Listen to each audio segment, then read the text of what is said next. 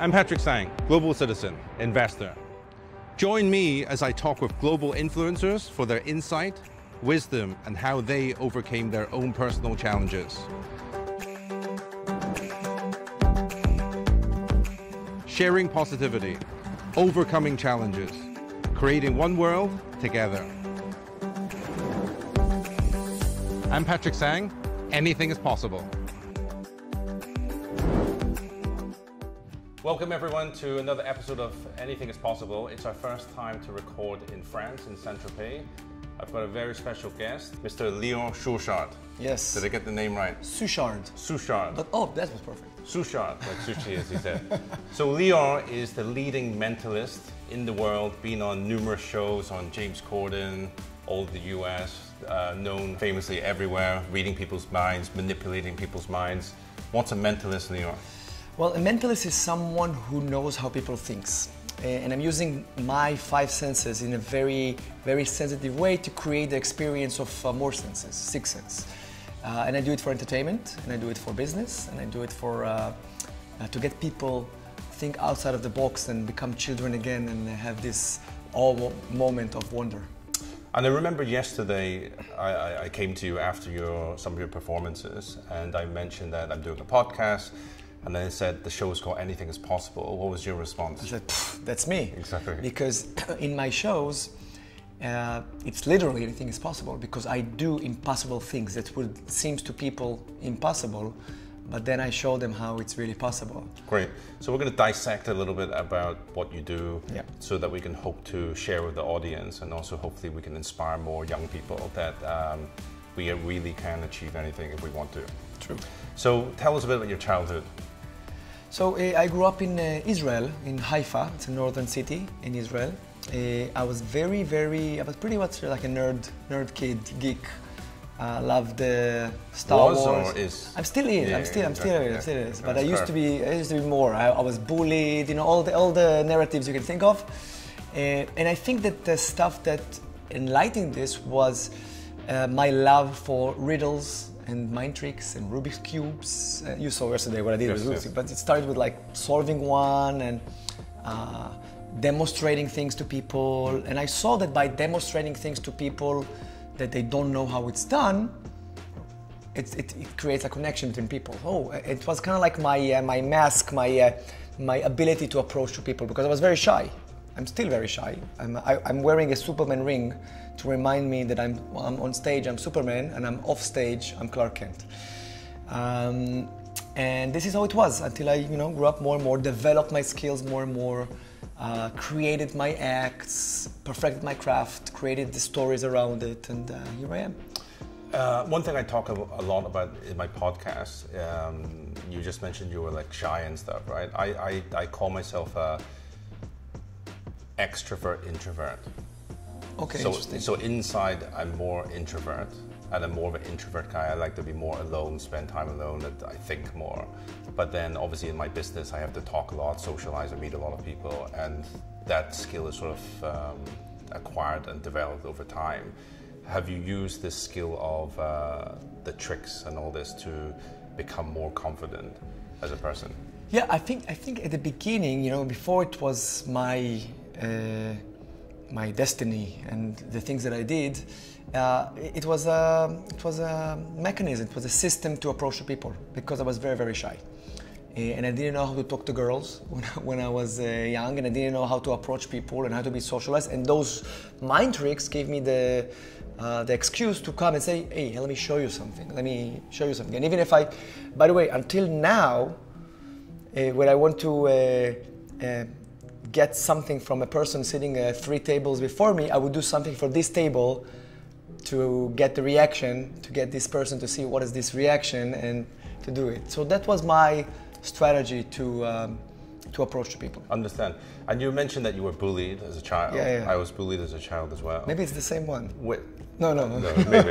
when you were bullied, did that have any influence on any of this, what you're doing now? Well, you can't think about it while you while, while it's happening. Only many many Sure. years la- later, uh, but but it, it makes me stronger ev- eventually. Yes. And and until today, you know, Israel is a small country. I see, sometimes I see I meet those people, and and I say, okay, so you're just a lawyer or you're Yeah. just accountant or something like that, and I'm doing adventures all over the world and doing what I love to do.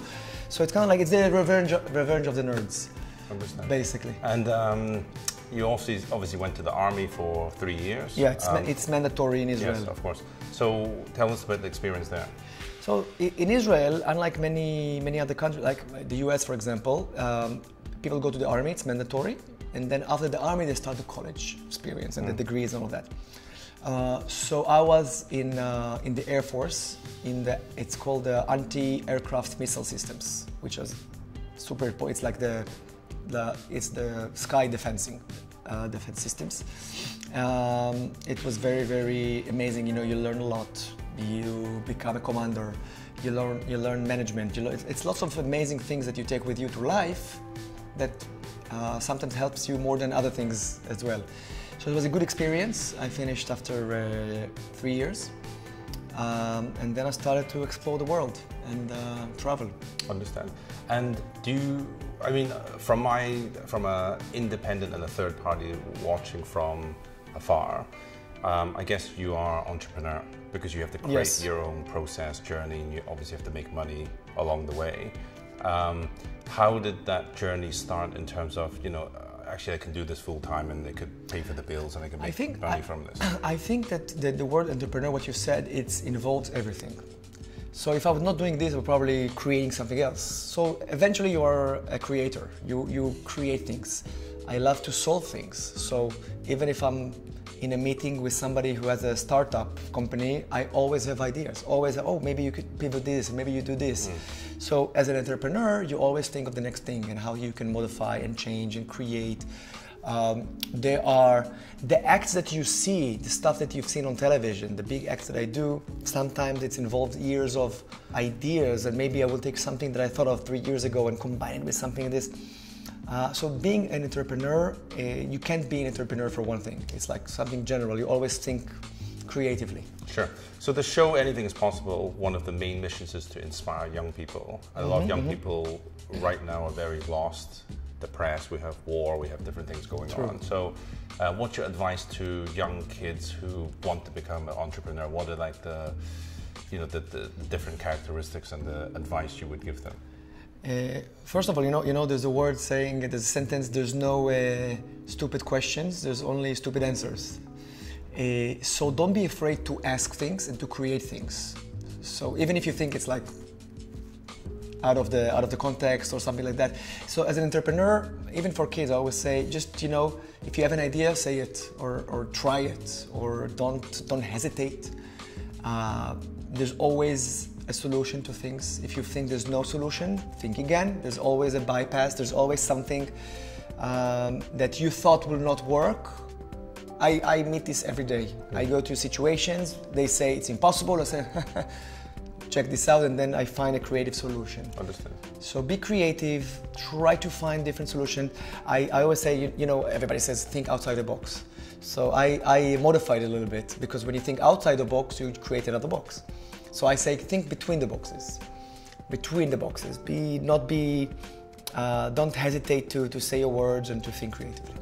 Understand. So let's go back to the mentalist. So Mm-hmm. obviously, um, this is what you're famous for. This is what your craft. Yeah. Um, tell us the, the journey of when you first sort of like began, or, or your first kind of experiences in this. So, so as I told you, it began uh, began as mind games, mind tricks, um, and the evolution of it is to tell the story behind it. Because a mental is basically, you know, there's a few principles that you work with. You can predict, try to predict something, or to influence someone, and to get information from someone, and to to uh, play with your thoughts, or to hypnotize. These are like the this basic concepts, and the story changes all the time and the metaphors change and the narratives changed. Uh, so basically, it, it sounds weird, but basically you start with telling someone to think of number from one to ten, and you and you see what kind of people choose what kind of numbers. Sure. And you extend it to one to a hundred, and then you extend it one to a thousand, and you start to understand when you look at people. it becomes like a second language to you to get their body language, to get their feelings. So uh, I'll do a little, like a quick one with you. Please. Uh, you told me you are from Hong Kong Yes. originally, so I want to ask you to think of a friend from Hong Kong who's not here that I don't know. So the first thing, and, and, and people at- at home that watching us right now uh, can try to get along and, and see how, what they get from you. So I want you to think first of all if it's a man or a woman. So you're nodding your head like this. I'm looking at you. I know your body expressions. I can see how you're sitting. It's probably a man. I will Correct. also guess that you will think of of, of a man. But this is the 50-50 point, the 50-50 chance, which Yeah. is not impressive. Uh, just for clarification, uh, you did not tell me No, this I did not, information. yeah. And um, I just need to count from one to seven. Just out loud, go. One, two, three, four, five, six, seven. And now think of the number of letters in the name of the person. So now your mind starts to count, right? So this is the principle. When you tell someone, don't think of a pink elephant, they immediately think of a pink. So, so I'm telling you, you everybody at home now, imagining a pink, a pink elephant. So I'm looking at you, and it's like you thought of someone, and I'm not sure because it's not accurate science, but maybe he has five letters in the name. No. No, so maybe six. Yes. Six. Okay, okay. Uh, and I'm not sure it's not it's a common name or not a common name, maybe. Um, it's an English name because I don't want to use Chinese name. Otherwise, Okay, okay. It's that's an Engli- it's an English name which is uh, Don't give me too many hints. more in Hong Kong and America. Let, let's say. do this. I'm gonna write something down. Okay. Um, can you think of a letter in the middle of the name? Yes. Okay, you just thought of L, I yes. think. Yeah, I yeah. see. This is interesting. So I'm going to write something here, yes. and uh, maybe this camera can catch it, uh, but I don't want you to see it. So okay. I'm going to write something. I'm going to write something like this. And this is interesting because this is uh, this is the name. I don't know. Again, it's not accurate science, so maybe I'm off a little bit. And I wrote something down, and uh, what was the name in Hong Kong that you are thinking of? Kelvin. Kelvin. I wrote Kelvin. I wrote Kelvin. It's interesting. Amazing. It's amazing. So, uh, Kelvin, if you're watching us right now, we were thinking about you. Yeah. It's pretty amazing, no? Yeah. I tried to like uh, Throw me off. throw yeah, I, fe- off, I but, felt it. But That's then, why but then uh, I tried to not do it too much because we are like filming and stuff. Anyway, Yeah, but yeah. uh, it's pretty amazing. very impressive. Um, I think um, because I was trying this with Christian the other day, and Yeah. he says, "Oh, I was talking to Lior," and then he told me, and then everything that he tried to do on me all, all didn't work. So I think you need a bit of training, you know. But going back to this is interesting because um, as a business person, as an entrepreneur, we're doing these things as a human being from birth anyway. True. Because we want to um, using influence to get somebody to do something all the time, right? Whether it's I want my mom to buy a guitar or I want dad to let me go to the cinema or whatever it may be, right? So you try to do the, oh, I'll do more homework. So I guess this is sort of part of it, but it's just you're taking it a step further. Yes, there's level of influence that you would never imagine. I mean, if I theoretically, if I manage to hypnotize you, I can get you to do whatever I want. It's like the highest level. I Sure. can get you to dance like a chicken. I Yeah, can get you to do Yeah, that. yeah. People doing it in Las Vegas in Sure. those shows. Yeah, yeah. Uh, but there's level, there's deep levels of influence without you feeling influenced. And this is what I'm doing basically. Sure, To influence someone without him feeling that he was influenced. Sure. And you know something maybe a bit off track here. So in in a lot of like Chinese fortune telling, I guess a lot of this fortune telling stuff where people say, "Oh, when you're 60, you're gonna have an accident," blah blah blah, all this kind of stuff, right? And a lot of time in Chinese uh, culture, it talks about the fortune teller when they reveal too much of the future, it drains their life force. I don't know how to explain this, but do you think that if this uh, skill or thing that you're doing and is used for like negative purposes, would also attract Well- negativity? Well, there is a famous uh, fortune teller paradox. If a fortune teller tell you that when you'll be 50, you'll get hit by a car, Yeah. so you will not drive, or you will not go Yeah, out, yeah, or you course, know, so it's kind of like a paradox. But um, eh, I, I guess you could use it for negativity. I always do it for for, for positive things. Sure. Um, I really believe in positive thinking and really believe in uh, inspiring people, other than using those skills to uh, to do negative things. There are people, uh, charlatans, who who sometimes use techniques, similar techniques, to make bad things. So Of the- course. theoretically, I could be, I could be. it's uh, basically a con man. Essentially. No, I could I could ha- open an office of like like spiritual office and tell you to think of someone who died and then pretend that I'm talking to Yeah, yeah, him. yeah, I, I sometimes I say a joke in my show. I said I also I also talk to the dead, but they never answer back. Yeah. Um, so uh, you, have, you have to be careful of those uh, Of people. course. That's why I keep it very, very light, entertaining, uh, business. This is kind of this is the level that Sure. I'm at. Yeah. And yesterday we were talking um, off camera about uh, helping people, Yeah. right? And Yeah. you're obviously you meet you know millions of people around the world, and then some people who have fear of uh, different things from I don't know fish, heights, whatever it may be. Yeah. How can you use this skill to help these people? So again, so it's important to say, you know, I'm not an authorized psychologist or a healer or something like this. I'm, I'm just a creative person.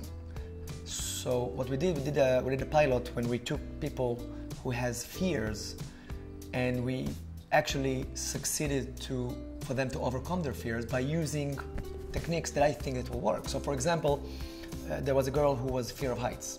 So one of the we took her to, to a journey. One of the experiments was I told her bring something that is important for you. So she brought her grandmother's ring or something like that, and we tied it to a balloon a helium balloon and we cover it so we cannot see it. But then we added four more identical balloons with the same thing. So she didn't know which one holds the ring. So we mixed it up and we played a Russian roulette with those balloons where I told her, get the, uh, get the scissors, use your intuition, and let's cut one of them. She cuts, poof, and the balloon goes up with a little bag, and oh my God, I hope the ring is not there. And I don't know, I don't know, we'll find at the end. I cut another one, and she cuts another one, and it goes up, and another one, and another one, and then one left. And then I said, listen, it's a 20, 20% chance that we got your ring. It's not a lot. And let, let's see. And she was there and she opened the little bag and the ring was there.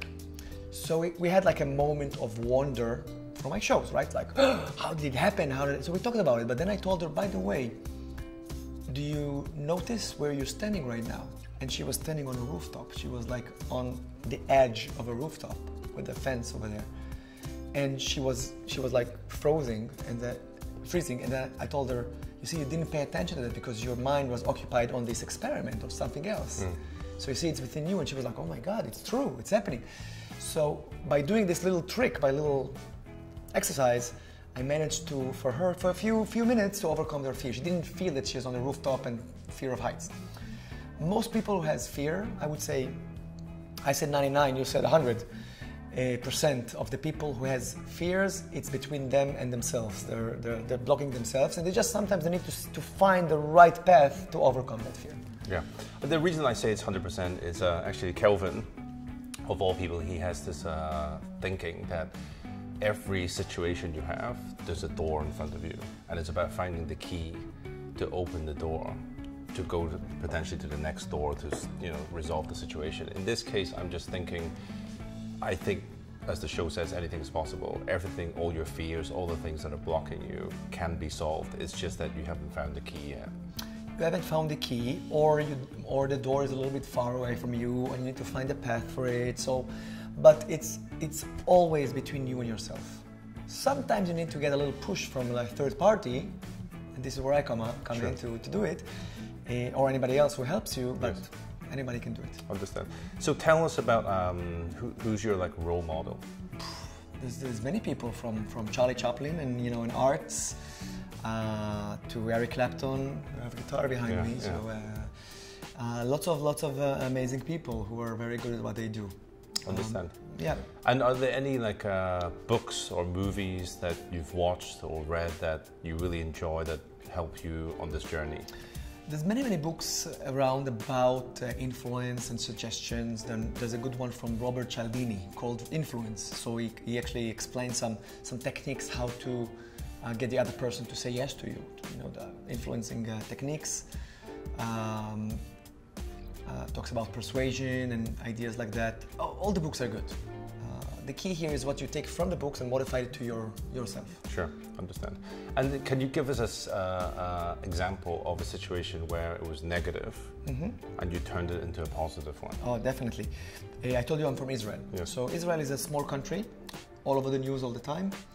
Uh, lots of conflicts. I did a show um, a few years ago, and I opened. You know, I'm from Israel. And one of the gentlemen in the show didn't like the fact I'm from Israel. Okay. Uh, so he was like standing and going like he wanted to leave.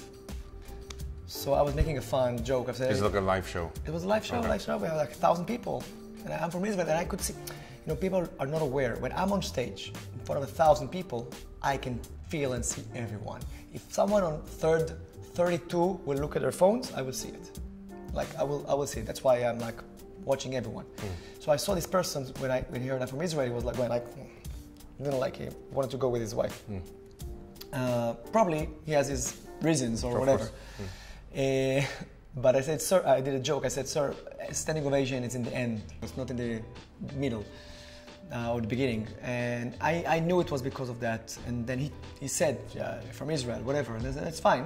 But before that, think of a number from one to a thousand. And he said, okay. and I was guessing the number. 74 is like, how do you know it? If you want to know, have a, have a seat. So he was like intrigued. And he sat down with his wife and he watched the whole show. And after the show, He came over. he came over and he enjoyed. He said, I, I was I, I predicted that. No, keep going. yeah. Ah, you- you're becoming a mentalist yourself. So he came to the he came and talked to me. He said his reasons. I told him he um, why he is wrong or whatever, and we we became friends. So just to show you how it makes everyone what I do, no matter if you are a businessman or politician or whatever, become children again. It flats everyone and show them this these things. And this is how I turn a negative negative situation into a positive thing. So one of the key missions of the podcast, Anything is Possible, we talk about creating one world together. So there's no division on gender, sex, culture, you know, whatever the different kinds of political agenda that you Yeah. have. So we just want, we think that humans are all the same. True. And I think someone like yourself, which we share common values, is that you know we're global citizens. There is no, for me, there is no Israel or Palestine or Russia or America. Everybody's just the same, because ultimately people just want to have a better family, health. You know, I will, I will say something. Maybe it sounds a little childish, but when I when I now 2022 when I watch news and I see things and I see gun, for me it looks it's stupid. For me, it, it really looks stupid because because if you think about it, it's, it's so easy. The, the, the, the conflicts all over the world are, are so easy. You just need to say, okay, well, let's let's be friends and start to negotiate and talk, talk things and you know, um, in every every situation. Um, and then when I see it, it it's really it's, it's like adults playing with uh, with dolls, right? This is this is how it looks like looks like, and I hope it will resolve soon, all over. Unfortunately, this more uh, negative energy, things like greed, True. is pushing forwards things like this. I think the only thing that can stop this, ultimately, the power is, is love, which is what we're trying to inspire Yeah, and yeah, share, right? So, uh, moving forward, we only got like a few more questions. Um, um, what is sort of like your, your legacy moving forward of what you want to, you know, So do right, and accomplish? right now I'm doing many. I'm, I'm traveling all over the world. I'm doing those private and corporate events. Uh, I think it's it's pivoting a little bit towards uh, educational and towards motivational. It's called uh, edutainment, you know, stuff like that. So. Um, so I'm working that direction. I'm creating. A, I'm, I'm writing a book. I'm creating a, uh, a gameplay for for children, uh, like about the power of the mind, about Sure. being positive and things like that.